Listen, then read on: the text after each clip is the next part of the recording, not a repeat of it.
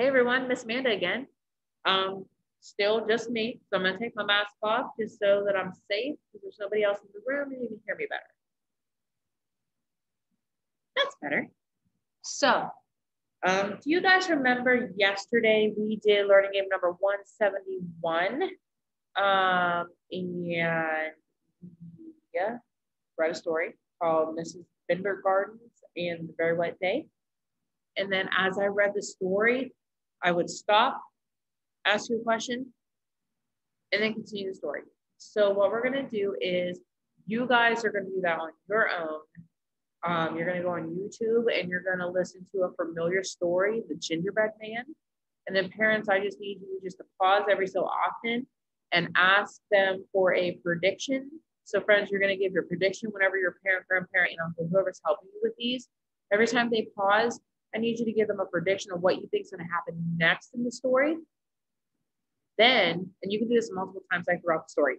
Then, after the story is over, I need you to think, put your thinking caps on, and think if you were writing the rest of the story, if the story would continue, what do you think would happen in that story? Um, so, this is a good way for you to start thinking logically about the future. So, it's going to be the future of the gingerbread man, because that's the story that we're going to listen to on YouTube. Um, and then you guys can send me your endings to your story on Dojo. Send them to me. I would love to read them just to see where your imaginations are going with that story.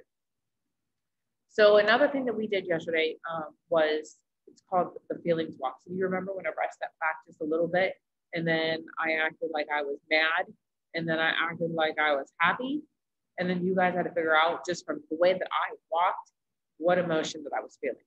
So we're going to do that again today, and you guys can extend on it as far as you want to at home, running through a ton of emotions, or you can just follow along through the emotions I'm doing. It's completely up to you, but I just want to get you off the move a little bit today.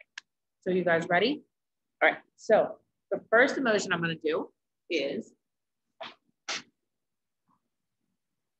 Okay, here we go.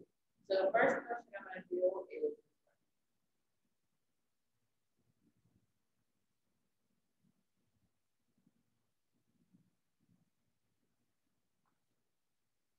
What emotion do you think that I just showed you? Any ideas? Yeah, I was walking like I was sad. All right, let's do one more.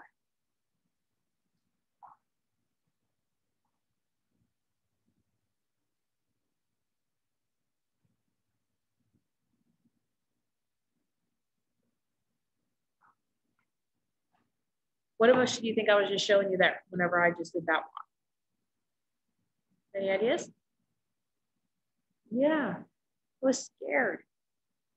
So that was my sad walk and my scared walk. So you guys can do those ones at home or be creative and do any kind of emotion walk you walk, or you can do all of them and just make an emotion feelings walk parade. Um, that would be super cool. So if you guys do something like that, please send me pictures. Um, that's all we have today, friends. So you guys did a super awesome job. Remember, keep those listening on ears on while you're watching our videos. Keep them on for your parents, um, you know, so we can just get business done. So friends, I will see you tomorrow. Have a great day. Bye, friends.